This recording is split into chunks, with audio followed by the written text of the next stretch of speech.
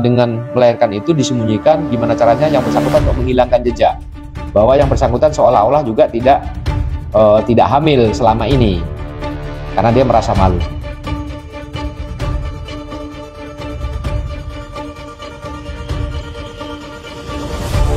Kejadian sadis kembali terjadi di Kabupaten Morowali, Sulawesi Tengah, tepatnya di Desa Bahomo TV, Kecamatan Pungku Timur pada hari Selasa 6 Juni 2023. Warga Desa Bahomo TV, Kecamatan Pungku Timur, Kabupaten Morowali, Sulawesi Tengah, dikejutkan dengan penemuan sosok bayi dalam kondisi hangus terbakar di tumpukan sampah dekat perumahan warga. Tak berselang lama, aparat kepolisian Satreskrim Polres Morowali pun langsung bergerak dan akhirnya menemukan pelaku pembakaran bayi tersebut. Yang tak lain adalah ibu kandungnya sendiri, seorang perempuan berinisial NKDA. Tersangka pun langsung digelandang ke Mapolres Morowali untuk dilakukan pemeriksaan lebih intensif.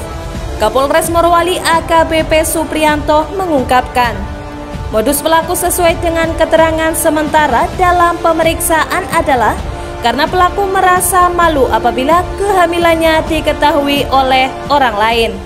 Ya, Pak Kapolres izin uh, untuk kasus pembunuhan atau dugaan pembunuhan terhadap seorang bayi itu kira-kira kronologisnya seperti apa, kemudian uh, dalam jangka berapa lama kemudian terduga pelaku ini bisa diamankan oleh tugas tulisan dari Polres.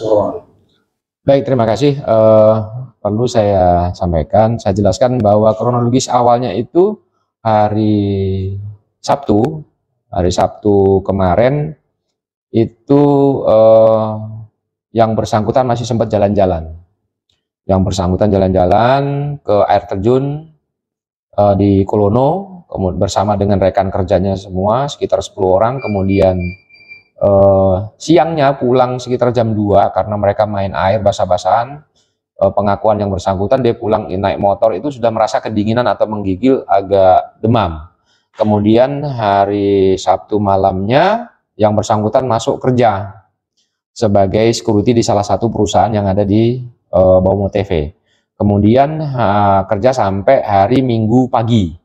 Kemudian hari Minggu pagi uh, yang bersangkutan uh, sempat memeriksakan diri ke puskesmas. Diantar sama temannya ke puskesmas kemudian karena merasa demam. Kemudian e, dikasih obat dari puskesmas ada tiga macam. Malamnya sempat dia minum. Kemudian pada dini hari sekitar jam 1 malam atau Senin dini hari jam pukul 01.00 yang bersangkutan melahirkan.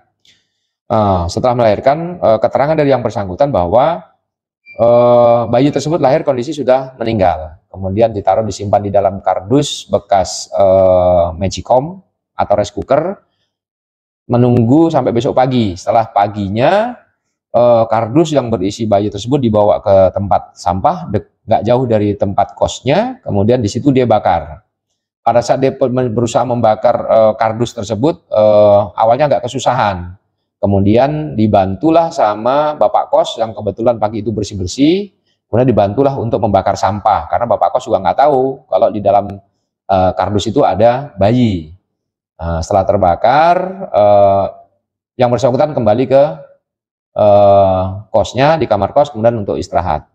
Kemudian uh, hari Senin pagi, uh, yang bersangkutan ke Pukesmas untuk minta surat keterangan sakit. Uh, kemudian uh, diberikan surat keterangan sakit oleh Pukesmas di Bomo TV. Kemudian yang bersangkutan kembali lagi ke uh, kos untuk istirahat. Kemudian sampai hari Selasa pagi. Selasa pagi yang bersangkutan diantar sama rekannya, eh, diantar sama temennya ke Bungku untuk mengurus BPJS karena ada sedikit masalah di kartu BPJS yang bersangkutan.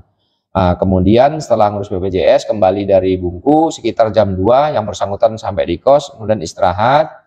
Nah, setelah itu sekitar uh, jam 4 jam 5 sore atau jam 16 17 sore ada ibu kos ini yang sudah membersihkan uh, tempat sampah membakar tempat sampah tersebut sampah-sampah yang ada di situ curiga kenapa kok pas dikorek itu ada semacam kaki bayi. Nah, kemudian dia ibu ini memanggil anaknya untuk meyakinkan eh, bahwa itu apa. Kemudian panggil anaknya, kemudian dikorek ternyata ada semacam bayi. Rame lah waktu itu, kemudian melaporkan ke pihak kepolisian.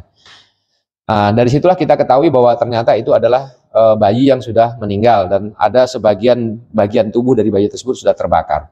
Kemudian kurang lebih uh, sekitar jam 20-an titik kosong kosong yang bersangkutan sudah kita identifikasi, sudah bisa kita amankan. Kemudian kita bawa ke Mako Polres untuk diinterogasi.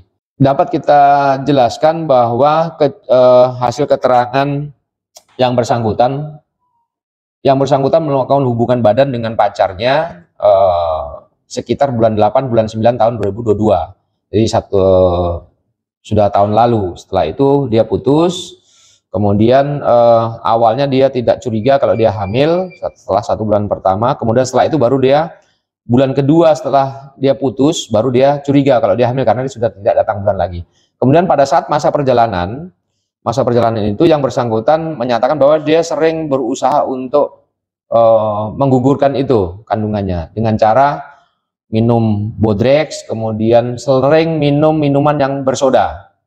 Uh, namun tidak pernah uh, berhasil sampailah kejadian yang kemarin ini. Demikian. Hingga hari ini pelaku belum bisa dimintai keterangan lebih detail karena masih mengalami depresi berat.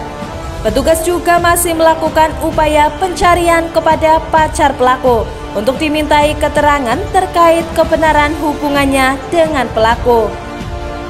Dari Kabupaten Morowali, Sulawesi Tengah, Bams Ari Expos Update melaporkan.